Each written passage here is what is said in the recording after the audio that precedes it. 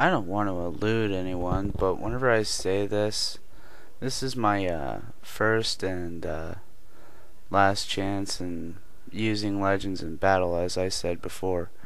But uh, I'm versing Ash123. He challenged me into a match. He's uh, a gym leader of some sort in some website, so yeah. We're gonna battle here with level 100 Pokemon, so here we go. I uh, thought I'd use the opportunity to uh, change my Pokemon in the party as towards using the same ones I've had for three rounds just to come up with some idea of weakness of his. So, enjoy.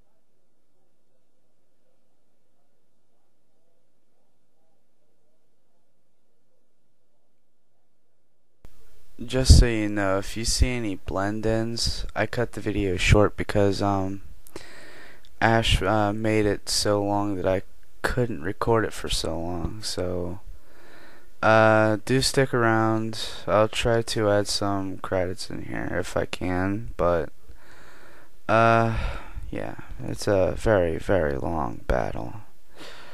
Uh, man, I wish it was shorter.